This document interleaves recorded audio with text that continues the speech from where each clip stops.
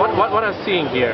What we're showing is our next gen chip. It's called GF100. It's built on the Fermi architecture. All right, right, And this is going to show the capabilities of the chip.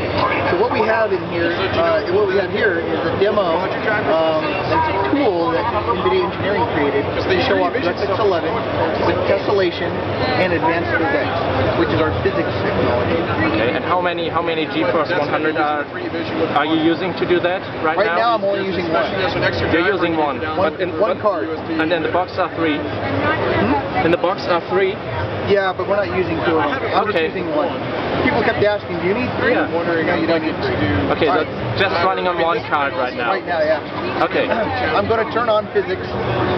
You can see what's going on in the background. I'm going to enable linear velocity here so that you can see all of the independent elements and how the, the idling of the engine and the force from it are making all of these interact with each other. Back So up. everything blue is emitting some some physics force. Oh. The blue triangles I don't over there. I don't know what the ones are exactly. Those might be fixed objects. Ah, okay. I'm going to back up here and show you that all of the base here is also modeled in physics.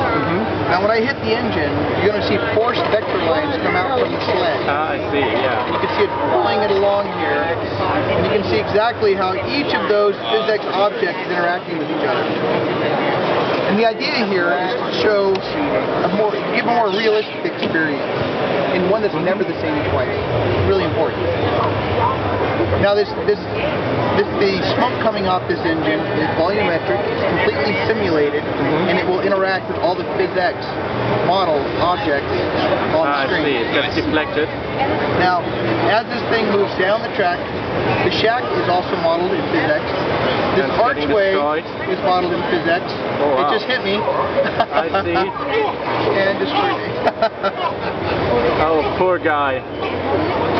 Now, Poor something I guy. want to show you what's cool about all of this is that, you know, if you're in like a first-person game, there's destruction going on. I'm going to go ahead and throw some chickens at this thing. Poor chicken. I'm going to fire this off, the rocket boosters, Oh, it, see... it still works. That's great. see, you know, it's all completely random. You know, they're all interacting with each other like like they're supposed to, how they're programmed. Okay. Now give me a high score, Sean. One more thing to show you. Okay, but then I will. Tessellation. Then I will get your high score. Okay.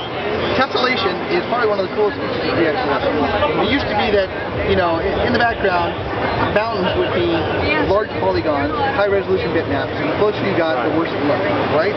Well, tessellation, we can dramatically increase the amount of geometry.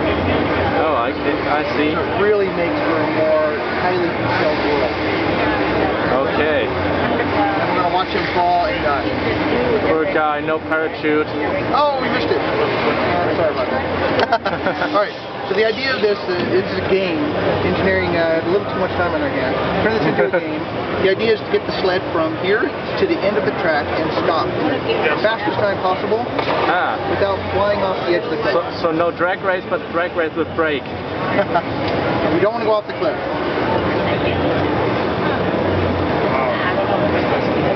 All right, here we go.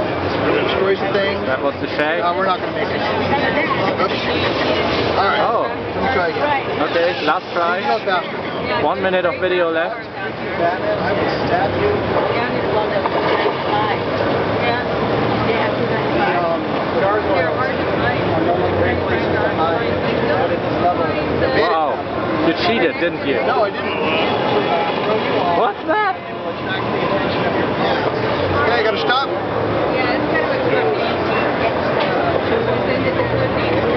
Gotta get past that. Ah, I didn't get a high score. No high score. That's me as Clevie. yeah, I had it yesterday. Okay. Great. Thanks a lot, Sean. Thank you.